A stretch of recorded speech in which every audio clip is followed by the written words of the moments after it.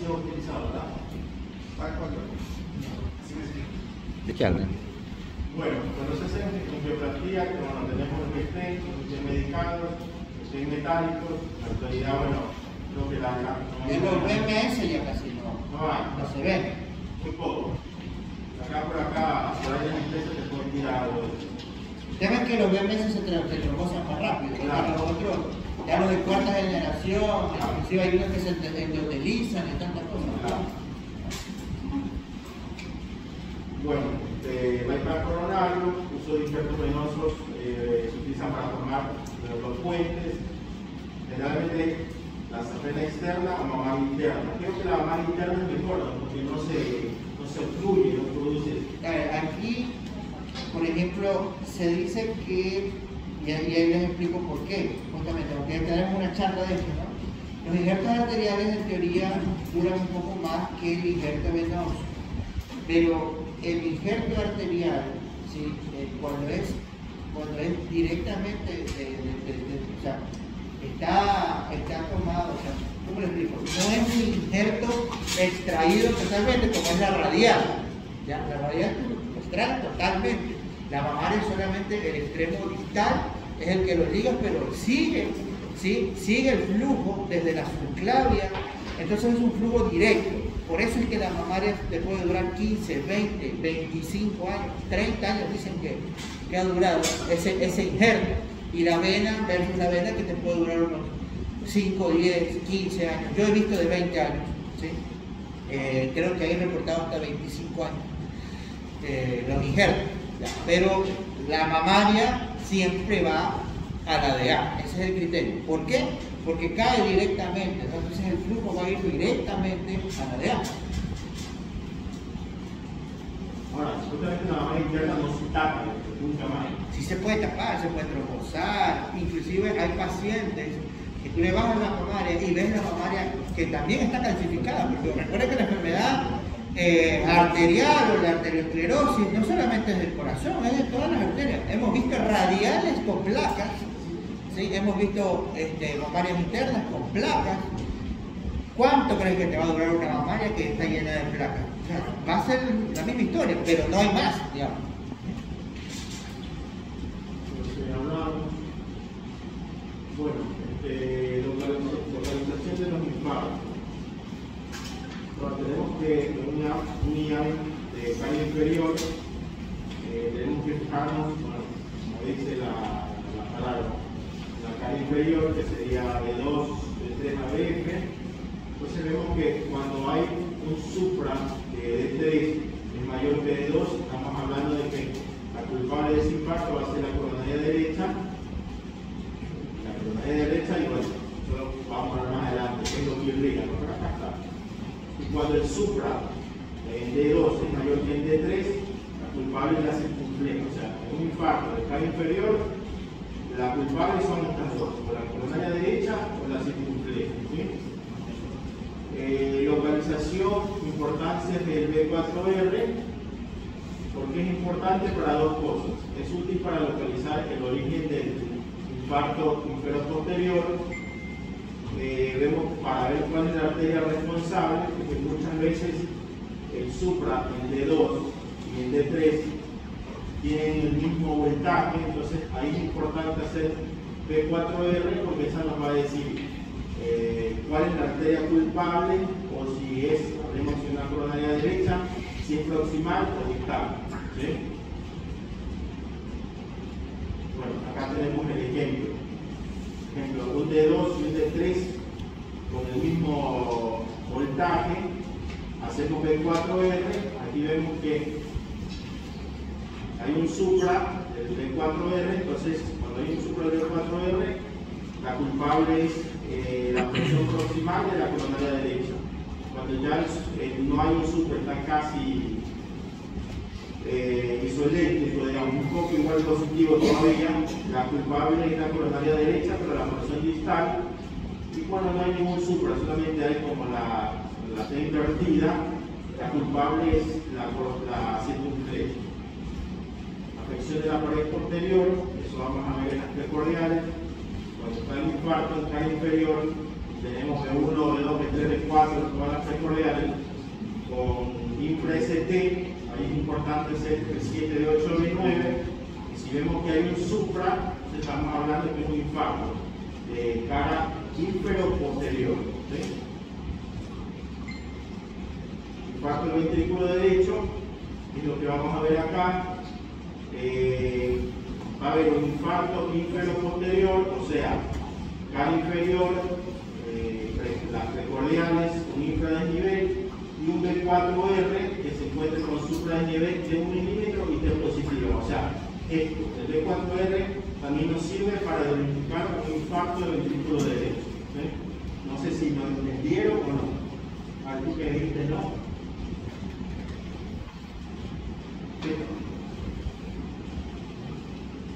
¿Qué, ¿Qué, te parece? ¿Me entendiste o no? ¿O estás en acá? No era no eso sí, pero otro uno. ¿Ves? Esto. No, pero acá hablando de un infarto del ventrículo derecho. ¿Cómo es el diagnóstico? O sea, va a tener un infarto de cara inferior posterior. O sea, hablar de inferior posterior, ¿qué va a estar alterado? Todo lo que hay de 2 de 3, una vez, a ver, Y precordial. recorrer entre 5 5 y 6. Más B4R, que va a estar por de nivel de un milímetro y T positiva. O sea, esto. Este es B4R, perdón que no puse yo acá nada de. Esto sería B4R. Entonces, cuando tenemos un infarto de cara inferior, alteraciones en la pared en, en B1 a B6, y tenemos un B4R con esta morfología, estamos hablando de un infarto del ventrículo derecho. ¿sí? Esas serían las imágenes especulares que se muestran de una vez de Gilbert. Sí. ¿Cómo te das cuenta estas imágenes para hacer lo la imagen en espejo haciendo las derivaciones posteriores? Bueno, esto es todo lo que expliqué ahora. Bueno, acá también tenemos, eh, esta es la de A, ¿sí? Dice una de A proximal, esta es, esta es una obstrucción, la cual está proximal al primer ramo septal y distal al primer ramo diagonal. ¿sí? Acá, ¿qué es lo que nos dice esta diapositiva? Nos habla que la, la, la isquemia está produciendo a nivel de la DA proximal y que el vector, eh, hablemos como el vector de desviación del ST, se dirija hacia arriba de la parte superior, o sea, porque es un segmento anterobasal, y entonces, recuerden el triángulo de que lo habíamos hecho, entonces nosotros vamos a ver en las derivaciones que va a haber un supra de D1, B1 estaría por acá, ¿no? B1, B2, B3, así. Entonces, hay un supra, pero no tan importante. B2 se va haciendo más alto, B3 más alto, B4 ya está viendo lo que es la parte negativa, comienza a infradesnivelarse y vemos que hasta que llega a B6 se hace negativo. ¿sí? ¿Qué es lo importante acá? Que acá siempre va a haber, cuando es una idea proximal, vemos que el ABR es positivo, ¿sí? Ven no sé si se alcanza a ver bien ahí. ABR es positivo, ABL también es positivo, que son derivaciones que a donde se está yendo lo que es la, la desviación del ST. Acá tenemos en cambio una DA distal que sería eh, proximal a la primera rama diagonal, ¿sí? Esta sería y distal al primer ramo septal. Aquí, bueno, las fuerzas empujan hacia abajo, hacia abajo y hacia la derecha, por eso vemos que B1, B2, B3, B4, hasta B3, para imaginar que llega acá, van a ser positivos, también va a ser positivo de 3, de 3 a BF, y acá, donde ya no se va a ver tanto, va a ser isoeléctrico de 2. Bueno, esto lo que habla es que hacia dónde se dirige la fuerza del movimiento del ST. Acá en cambio, El electrón la B es positivo. La, B. lesión, ¿verdad? Es tronco, hablamos de ser del tronco, de, O sea, el tronco estamos hablando, qué sé yo, por acá arriba. ¿por qué hace supra en ABR? Y bueno, ahí no le acá. Esto. Esto. ¿Dónde está verde? Hacia arriba y hacia la derecha. Entonces, hacia la derecha, ¿qué tenemos? ABL y D1. Tenemos por acá supra en ABL, supra en D1, ¿sí? en ABR inclusive como se da para acá, lo tenemos negativo, ¿sí? y en D3, ABF y D2 va a ser negativo porque la fuerza se está yendo hacia allá. ¿sí? Entonces ahí esto es lindo, yo siempre aprenderlo y nunca me lo aprendí. Porque, no, si tú puedes hablar de eso, o sea, si, te gusta, qué sé yo, química, tú puedes acá con esto definir. Claro, ¿qué arteria? ¿Qué Son arteria? cuatro, son cuatro diapositivas que te dicen dónde está el infarto. Claro. Pero bueno, hay que aprenderse. Yo llevo ocho años y no me lo aprendí. Bueno, acá igual, ponemos una vea distal. El eje se dirige hacia la punta del corazón.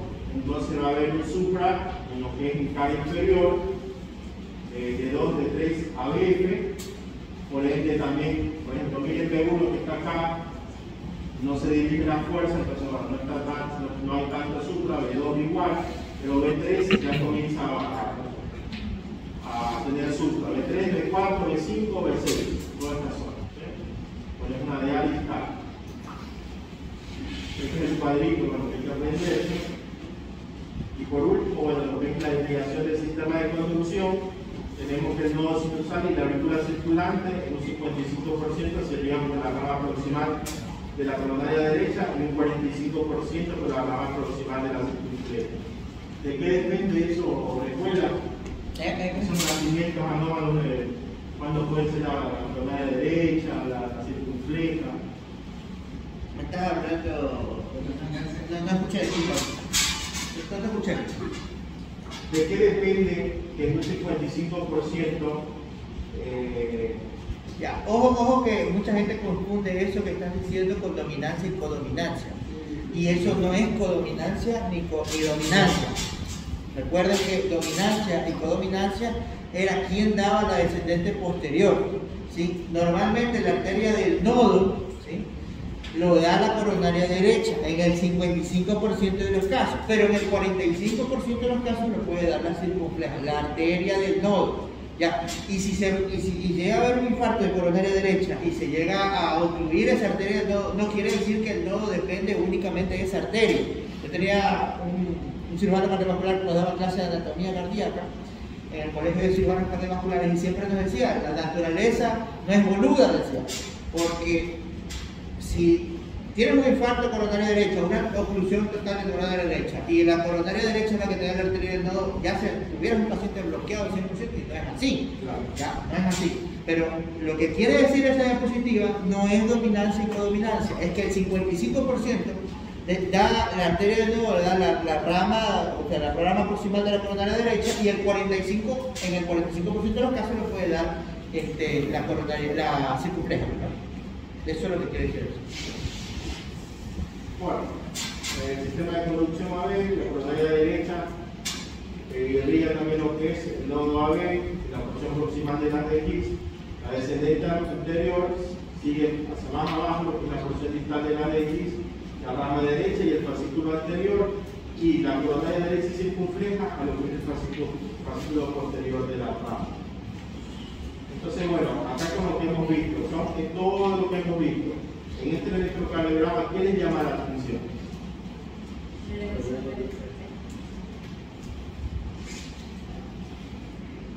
Hay un supra, cara inferior, que nos va a indicar que es un infarto, cara inferior. ¿sí? Y entonces, cuando es cara inferior, hablando la doctora ahora, ¿qué tenemos que? ¿cuáles son las bacterias culpables de los infartos bucal inferior? Rodada derecha y circunflejo. Cuando el supra, por la es mayor, el de 3, el de 2 es por la derecha.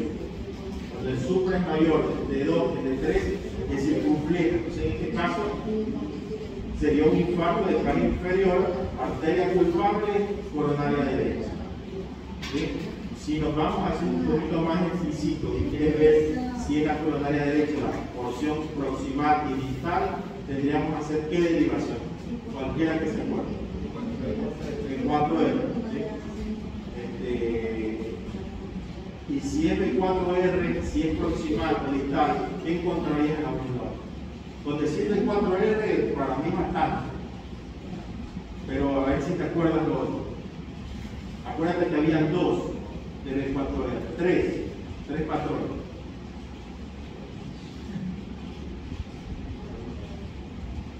Cuando era proximal había un supra importante con T positivo. Cuando es proximal, cuando es distal, una, una T positiva o un supra mínimo. Interconsulta, interconsulta caro, doctor.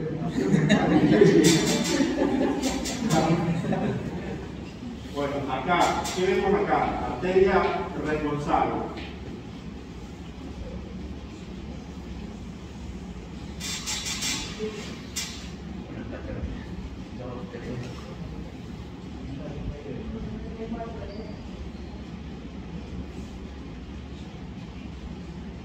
Arteria responsable. Es lo mismo, es lo mismo. ¿Cuál? Ah, mira, yo eso no me había fijado. Acá hay 4 R. Buena observación de la doctora. Yo no, lo- no, no lo había visto. Entonces, ¿eso qué nos genera? Más información. Este fue un residente de no mando nada, pero le hizo un B4R. Escuchó la cárcel del doctor Pino Como y le hizo. Claro. Ah, Entonces, bueno, ¿qué arteria es responsable? Lo hablamos recién. Está enamorada de esa coronaria derecha. ¿Por qué? Porque el supra de este es, es mayor que el de 2. ayer, eh, ¿sí? Y acá, si nos da esta imagen de 4R, si tenemos un supra con C positiva, ¿qué podría hacer? Proximal o distal. Coronaria derecha, proximal o distal. Proximal, pues, el supra y el positivo. ¿sí? Bueno, ojo que esta derivación solamente la tenemos 4 horas. Si en 4 horas el paciente no empezó con el dolor, chao. Ya le hacemos. Confórmate con decir que es un infarto de coronaria derecha. claro. Pero acá como a los residentes de cardio, les gusta hacer las internas, les gusta Ah, hablar. bueno. O sea, si la quieren sorprender, tú hablas de 4R.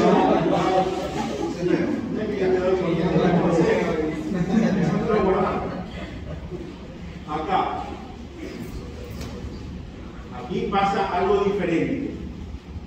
Está mayor es de 3 que de Sí, sigue siendo de 3 mayor que de 2. ¿Qué más?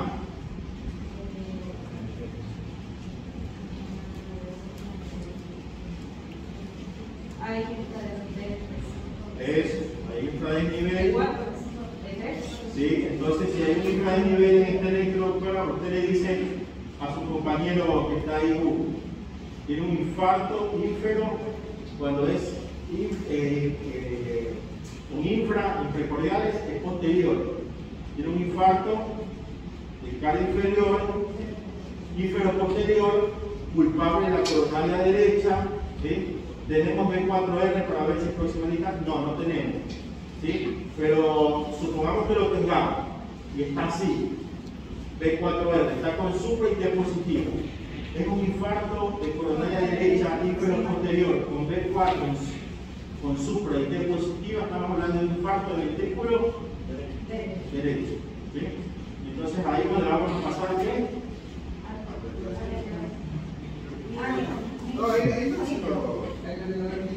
Eso. Porque no se la Claro, eh, correcto. Listo. Acá, este nivel mismo. Sí. O sea, que pusiste ahora. Este también le digo. No.